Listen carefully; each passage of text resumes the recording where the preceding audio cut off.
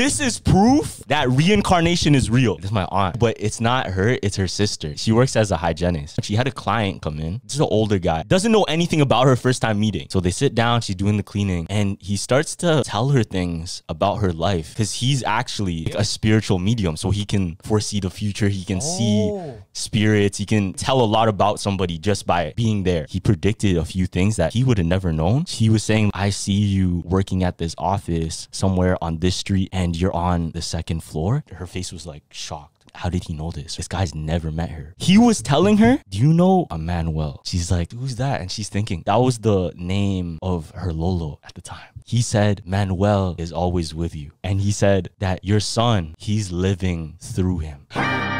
Now what's crazy, bro? Her son, she has a lot of mannerisms. Like Emmanuel? Yeah. Oh my But my other aunt, so her sister, she was in shock too because she would always pray to him. I guess it's true.